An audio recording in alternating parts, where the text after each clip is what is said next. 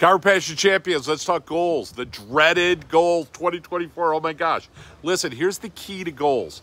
Don't focus so much on the goal number, the metric. I know that sounds crazy and it sounds counterintuitive almost. Remember, the main point of a goal is to develop into the person that you need to become in order to achieve a goal. And sometimes goals are never fully achievable. Most people never hit their one year goal, but crush their three year goal because you got to develop the systems, the mindset, the skill set. You got to become that person in order to hit it. So, a couple of tips. Number one, if goals really stress you out, don't do a one year goal, do a three year goal, do a five year goal.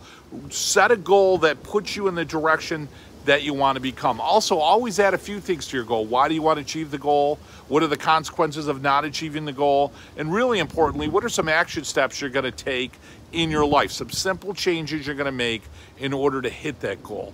Those are some real simple ways to evaluate goal. Remember, a goal is merely a direction of personal development. Love and appreciate you guys. Coach Borio coming at you live from Chiropassion Consulting Headquarters. Talk to you soon.